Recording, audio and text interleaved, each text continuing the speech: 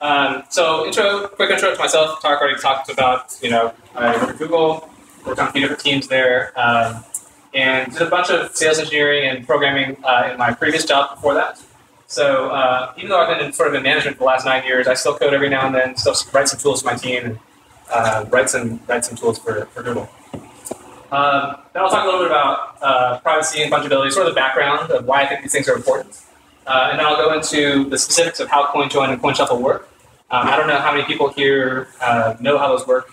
Does, has anybody, uh, I guess, first let me ask, how many people here have heard of CoinJoin before? Okay, that's good. Um, how many people have heard of CoinShuffle? Okay, a few. Well, that's actually more than I thought, so uh, not bad. Uh, and then I'll do a little demo of what I've written. Uh, I've used this really snazzy wallet that I found called the uh, SF Devs HD wallet, uh, which I've altered a little bit for CoinShuffle. And then we'll talk you know, about a few other things here and there. Is it open source? It is open source. It's, um, if you go to github.com slash bryanvu slash bitcoinjs with wallets, uh, you'll find the wallet there. there's a couple of other components. There's a server component that's also um, on my GitHub, which I'll show links to later. Um, one of the reasons this, this topic was interesting to me is I started uh, getting interested in Bitcoin in 2011. Uh, Mike Hearn, who many of you guys might know, uh, was a Google engineer, uh, and he uh, sold me my first Bitcoins back then, uh, which went to like 30, 32, went from $8 to $32, and I thought, wow, this is you know amazing, I'm to be a millionaire. Uh, but then it crashed to like $1, uh, and I completely forgot about Bitcoin for about a year, uh, while it slowly, you know, kind of came back up to like 10 bucks. But one of the things that Mike um, actually posted to our internal mailing list was he didn't think that Bitcoin was going to be ready for the mainstream in the near future. This is back in like 2011 or 2012 because of this transaction linkability problem. Um, and what this is is that when if, if you buy a cup of coffee, something as simple as a cup of coffee for me, I can take your transaction history and trace it back to all of your previous transactions. If, if, if you're a naive user, if you haven't done anything to try and, uh, and cover your tracks. So for example, I can easily go back and see your paycheck. I can see, you know, look for large incoming transactions that happen every two weeks. Um, I can also see, you know, maybe you've been gambling on Satoshi Dice. I can see that. Uh, if you've donated to the Pirate Bay, I can see that kind of thing.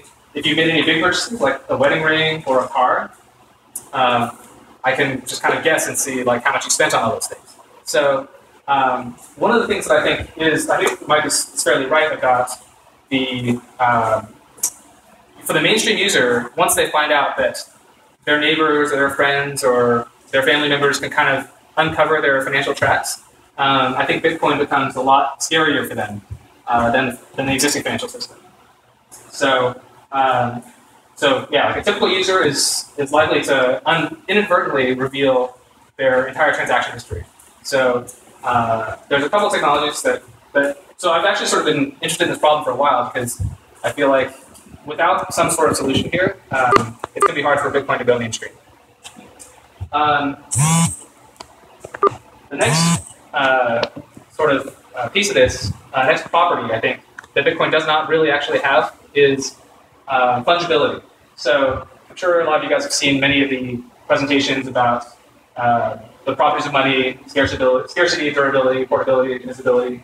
Um, and then fungibility is kind of the weirdest word in there. But fungibility is, is the one thing where Bitcoin does not surpass the existing um, uh, monetary options. So fungibility, for those of you guys who don't know the term, basically means that uh, you can substitute any two things for each other. So in the case of like an ounce of gold, an ounce of, one ounce of gold can be traded for is, is indistinguishable from another ounce of gold, and so they can be traded essentially equally.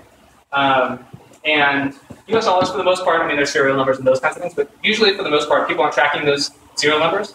So any US dollar is good, as good for any transaction as any other US dollar. Uh, whereas Bitcoin, the, uh, the coins are not actually as fungible and not as substitutable, and, and they're very distinguishable from each other because you can view their entire history. And in the case of, you know, the obvious cases of like Silk Road or Mt. Gox, people track those coins, uh, and some people might might say at some point, hey, I'm not willing to accept a Silk Road coin, or I'm not willing to accept a Mt. Gox coin. Uh, and if that were to happen, I'm sure you guys have, uh, many of you guys have probably heard about various proposals for taint and all those kinds of things. In that case, you have a situation where um, where people have to uh, sort of discount different coins. So a Bitcoin is not not all Bitcoins are worth the same. One Bitcoin might be worth you know 0.95 Bitcoins if there are certain people who won't accept it. And once you start going down that road, you have this additional friction uh, every time you want to do a transaction because you need to check this database and make sure that your coin is is um, uh, is pure, and you need to make sure that the people that you're going to buy stuff from will also accept your coin. So it just makes the whole um, Bitcoin economy, it just adds a little more friction to the whole Bitcoin economy. And uh, so I'm hoping that, that Bitcoin, uh, I think that to be mainstream, Bitcoin needs to just not have any additional friction or needs to eliminate that, that kind of friction as much as possible. Um, so, talk a little bit about CoinJoin. So that's the background. Um, any questions on those concepts? Um, so, um, talk a little bit about CoinJoin and CoinShuffle, which are two um, technology, two ideas for improving both the privacy and the fungibility of Bitcoin. Um, the basic way that it works is that um, instead of having on the left, or actually, sorry, I'm right now, you're right, uh, the uh, a normal transaction has it's very easy to draw the link between the sender and the receiver of the transaction. So you know the transaction A is between these two people, transaction B is between these people, transaction C is between these two people. If, in a coin join, uh, what happens is the inputs and outputs from those three transactions are combined into one big transaction. And uh, you don't know to which person any of the inputs is getting sent uh, eventually. So um, Oh yeah, this is pro- proposed by Greg Maxwell, who was here a couple weeks ago. Thankfully, he's not here today. Otherwise, uh, I'm sure he'd have lots of uh, additional things to say about CoinJoin. But uh, this is so the idea is that just by looking at the blockchain, you can no longer like look back and see, you know, what was somebody's salary? You know, did they spend money on Satoshi Dice? You can see a whole bunch of people. Like in, in a normal situation, you probably have 10, 20, potentially 50 people in these coin joins. So you would, it would be very hard for you to draw that linkage between any particular um, uh, output and, and the input that, that came before it. So um, the steps to do a coin join. So I'll talk a little about coin join, which is a sort of like a more basic version, then I'll talk a little bit about coin shuffle. So in coin join, it's pretty simple. Everybody who wants to do a transaction at any particular time, they take their inputs, they take their outputs, they send them. Everybody sends. Let's say there's, let's say the group of you know 50 of us all send our all want to do a coin join together we all send all of our inputs and outputs to Taariq. Taariq then organizes the, uh, the coin join, and he says, here's my unsigned coin join. And it has all the inputs and all the outputs from all of us. All of us then review Taariq's coin join, and then we sign our inputs individually um, to make sure that uh, everything is as we're expecting.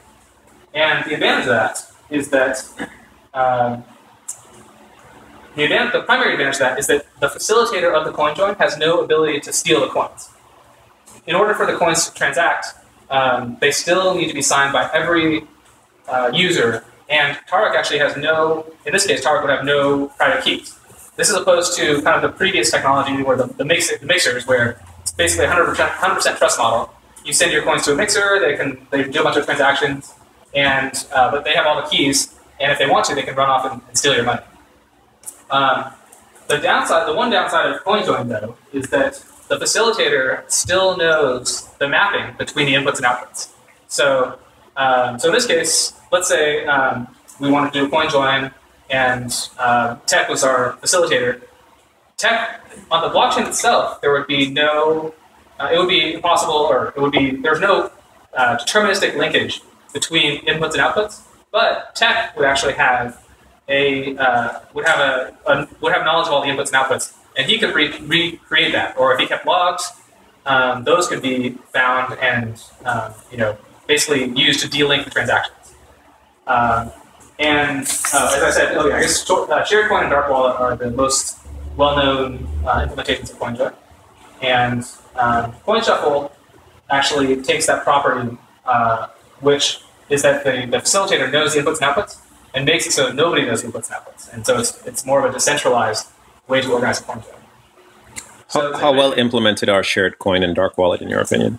Um, so I don't know a lot about them. I think that dark wallets um, is my understanding is it's only two people coin joining at each coin join, which I think is not ideal. You know, ideally you want to have many people at each coin join, so you don't have to keep coin joining every time because you do have to pay a, a fee every time a transaction is, is done. Um, shared Any reason why that is? I think they probably did it so that you don't have to wait very long to get another person to uh, coin join with you. Uh, but I'm not totally sure actually. Um, and shared coin, uh, I know it's been kind of up and down, so I think it's back up again. I don't know if anybody from blockchain is here, but It's still down, I think. it's still down. Yeah. Yeah. So I, I don't know why they took it down, and I don't know what the problems were with it. Um, but uh, I, the, the one thing that's a little different, I'll talk a little bit about denominations, is with shared coin, you don't have a fixed denomination. So um, I'll, I'll explain a little bit more about that uh, as, I go, as I go forward. Any other questions about how CoinJoin works? Does that make sense? Okay, so CoinShuffle um, is an advance, I think, on CoinJoin. Uh, other people may have different opinions. Um, funny, Mike Hearn is actually one of the people who's not, not a huge fan of CoinJoin, but uh, I actually I, I have a higher opinion of it than does. Um, but CoinShuffle was, was proposed by these three researchers, security researchers in uh, Germany. And um, it's, it was actually just proposed earlier this year. And the idea is that, like I said, no central party needs to be trusted. Not only can the central party not steal your coins, they actually don't know who's like what inputs and outputs were mapped together. So uh, I think that's a that's a that's a pretty important advantage over over CoinJoin. So um, the way that CoinShuffle works is that, uh, and actually, I guess there's been some discussion on the Bitcoin mailing list lately. So it's actually, you know, until about a week ago, I don't think very many people have heard of it, but they, they've just been posting quite a bit to the Bitcoin mailing list. Um, but the way that it works is, let's say we've got four people, uh, these canonical uh, encryption encryption folks. Um, and the way that works is they start by broadcasting three pieces of information, and this information goes to everybody. So they start by broadcasting uh, what's called an ephemeral, that they put in the paper called an ephemeral public key. This public key is only used for the purposes of this one coin shuffle. Um, and I'll talk a little bit more about how that's used in a minute.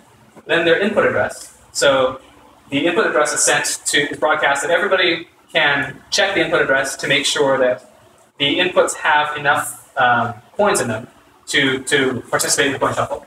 And then finally, there's a denomination. So, uh, you know, for this case and for the demo, I'll use one BTC. I'm just using a, a testnet Bitcoin, and that, um, and so all those people get together and they all say, hey, we want to do a, a coin shuffle for this denomination. One thing to notice, there's change and all these kinds of things. I'm not that that all gets handled. Um, you'll see a little bit of it in the demo, but I'm not going to talk too much about how that works. Just assume the change. It's not that big of a problem. Uh, oh, one note is this is slightly different than the actual paper. Um, I implemented it using Node.js and WebSockets, which sort of broadcast everything to everybody. So it's a little less efficient than the proposal in the paper, which is that uh, each person passes the information uh, to another person in turn. But um, uh, it's for all for all for most purposes, it's, it works basically the same. Where are they announcing it? Sorry? Where are they announcing it? Oh, the paper. They actually announced the paper in uh, April. No, no, no. I mean, where, where are the? Oh, okay. So yeah. So in order to um, the way that I've implemented it is the shufflers connect to a server via WebSockets. So they, they have an IP address um, of a server, and they uh, connect via WebSockets, and they broadcast that to the other. Uh, uh, the, the server actually puts them into a room, which is people all doing a shuffle for the same denomination. Yeah, basically it's just proxy. Yeah, it's it's. Uh, I mean, we actually are working on uh, Marcel Ortute, who's going to come here later, explain it later. He's actually kind of working on a P2P way to do this. Um, but for the purposes of the demo, I actually just have it connected to a server. So my server is devbtc.com. Um, so I'll show you guys what that looks like later. But um, so so what happens is each person that's going to participate in the shuffle, they uh, so they've, they've already sent their inputs. We've already verified that the inputs have the coins and the amounts that, that they're supposed to. But we need to find a way to get the outputs to everybody in a secure way, so that nobody knows which outputs came from from which input. Um, and the way that we do that is uh, by using what's called a layered encryption. Um, and what happens is Alice, I don't know if you can read, but Alice uh, will take her output, uh, just an address, and she'll encrypt it with four layers of encryption. So Dave, Charlie, Bob, and Alice uh, will all she'll she'll use all those public keys, all those ephemeral public keys, and encrypt them all in order, uh, so that uh, basically it's it's um, obfuscated from from anybody who might be watching. Uh, Bob does the same thing. Charlie does the same thing. Dave does the same thing, uh, and they all broadcast all those to everybody. Then what happens is that um, those outputs get shuffled and decrypted. So what happens is Alice. So one thing that's important is the order needs to be uh, uh, set at the beginning. So the way that I've implemented it, it's a it's a randomized order that gets set at the very beginning. That order is broadcast to everybody, uh, and then people encrypt using that order. So um, what Alice does is she randomly sort of shuffles these around. She can move like you know number one to number four, number two, number three, etc. And she then strips off her layer of encryption. So this pink layer of encryption goes away, and she then passes that off to Bob. Bob does the same thing. Uh, he shuffles again, and then passes his uh, strips his encryption off and passes it to Charlie. Does the same thing and gets to Dave. And at the end of the day, everything comes to Dave, um, and Dave has he strips off his layer of encryption, and now he has four outputs, but he has no idea which order the output started out in. Um, you know, he will know his output, so he can say, "Oh, this is my output," but he has no idea which ones are Alice's, which ones are Charlie's, and which ones are Bob. So uh, that's that's sort of like the uh, the way that CoinShuffle handles this problem of not allowing any individual to see the entire mapping between inputs and outputs.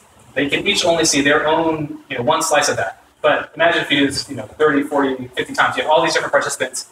It's very, very difficult to, I guess, uh, very, very difficult to, to link these outputs. Um, you basically have to sort of get everybody to collude uh, against one person, which uh, that's actually one of the attacks I'll talk a little bit about, but um, that's that's basically how it works. So once once Dave has these four outputs, um, the facilitator, in this case uh, server, just generates an unsigned coin join transaction. Um, so as you know, you know, we don't know whose outputs these are, um, and then all those un- that unsigned transaction gets passed to everybody, and each person reviews that transaction. Um, if it looks like their outputs and their change and all that stuff, I left off the chain, but they make sure that the change and everything is uh, as expected. And if it is, they um, they sign that, and the signed transaction gets passed back to the facilitator, who then will broadcast it onto the Bitcoin network, and the transaction will take place. So um, so that's how it works. So I'll do a little demo. Any anybody have any questions about sort of the logical? Yeah. Yeah, so in that example, you listed out, you listed out four different peers who are participating. Yeah. You- Does the paper, or are you making a recommendation on the number of peers that's appropriate to sufficiently mix the transaction? Um, so the question is, does anybody, is there a recommendation of the number of peers? Um, the paper does not make a specific recommendation. They have a performance, they talk about a performance test they did with 50 peers. Um, and uh, so I think that that's actually one of the things I think should be configurable within the server or even within the client. So you should be able to say, you could be able to say something like, I am willing, I want to have like 50 people in my shuffle. I'm willing to wait, you know, an hour until 50 people get there. Um, whereas some other people might say, I'm, I just kind of want to shuffle really quickly. I only want to wait for five people to show up. So I think that um, that actually it should really be configurable based on the person's need for um, privacy, let's say. Um, but uh, yeah, I don't know if there's any more uh, mathematical uh, way to, to make sure it's, it's the right number. Yeah.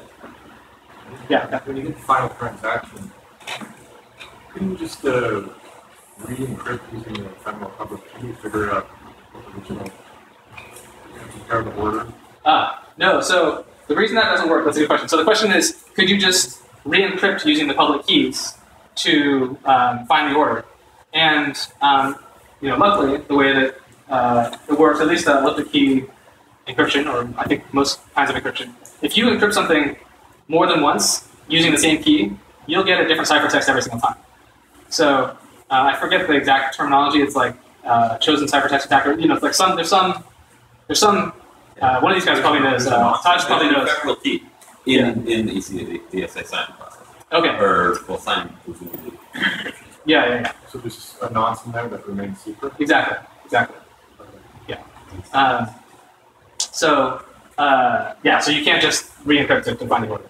Um, any other questions? Yeah. So, um, what happens, and this is probably nothing happens, but um, what happens if you end up with four outputs and the result? Like one of them's huge. Very good. And someone's Yeah. Good question. Exactly. So there's actually they wrote in the paper um, this blame process, and basically what happens uh, there's a couple ways that they do blame, and, and one of them, the more complex way, I actually haven't spent that much time to to understand, but the obvious one or the, the simplest way to resolve this is everybody if, if they know that everything's broken, everybody just broadcasts their um, uh, their, their uh, decryption keys. So then everybody takes the decryption keys, runs through the whole process, and they see who who screwed it up. Then they then they exclude that person. They exclude that input, and then they run the same process again.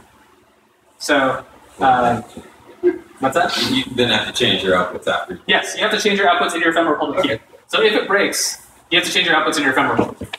Um, so DOS countermeasures, you're saying? So uh, yeah, so the DOS. There's a couple ways. You, so one of the one of the obvious attacks is like let's say you've got ten people shuffling, and you have one legitimate shuffler, but then the NSA says, hey, I want to dump in you know you know thousands of shuffle requests, and they isolate that that one person. Um, what you can do is you can one of the things you can do is you can say for that specific for you can you can open the shuffle window for a specific period of time. Let's say five minutes, ten minutes, whatever you think will be necessary to get a sufficient number of legitimate shufflers. Um, and you can you can then see. Uh, so hopefully, so as long as anybody can join, you know there will at least be a few legitimate shufflers in there. A bigger problem might be, hey, like you open this window for five minutes, but you have like ten thousand you know shuffle requests. Um, one of the ways that that is mitigated is that you can check uh, the inputs. So it would actually be fairly expensive to do um, a bit like a mass DOS attack because each of those inputs actually has to have the coins in there. Um, otherwise, uh, uh, they would get excluded immediately. And so, and then you can also do kinds of you can. So that's that's one thing. You can also trace the coins that are being submitted for the shuffle, and you can say something like, um, you know, these coins should only be shuffled, you know, once, you know, twice every 24 hours or something like that. So if somebody's just kind of constantly recycling the coins and putting them into shuffle after shuffle after shuffle, you can, you should be able to uh, determine who that is.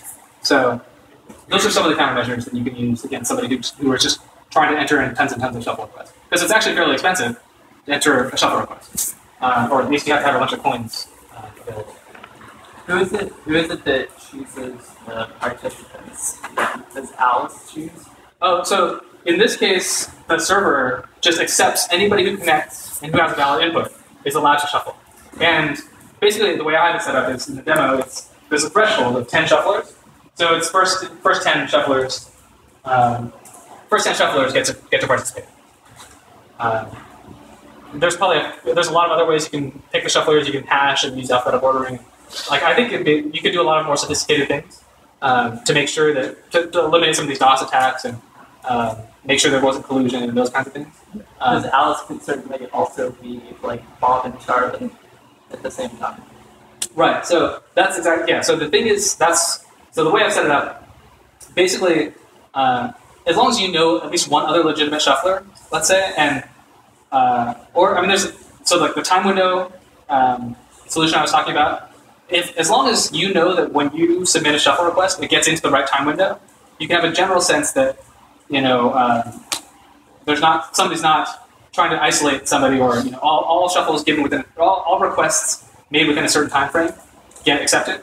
Um, that could be that's one way to know that uh, that Alice or the, let's say the server is not specifically trying to exclude uh, or trying to isolate somebody. But yeah, I mean that's a, it's fairly complicated. Uh, Yeah. You you, you can Alice and Bob. yeah, um, yeah, I think that know that.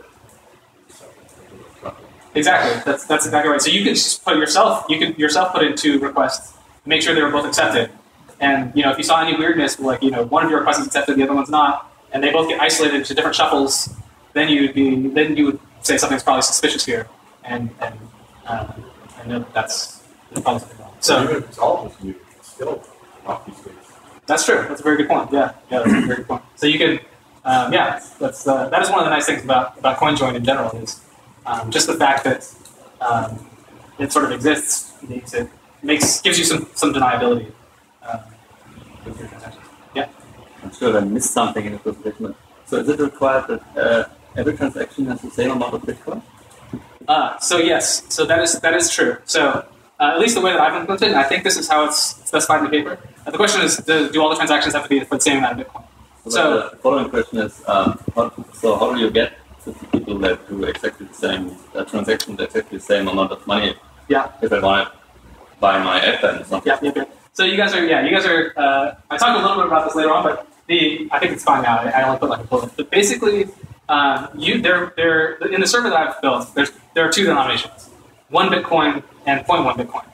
And what I envision, um, I'm not totally sure if the authors of the paper uh, agree with this. I actually sent them an email. We've emailed back a little bit, but they never responded to this particular question, which is. Um, uh, I see it as you shuffle on receipt. So let's say you get your paycheck, or let's say I get a payment from you.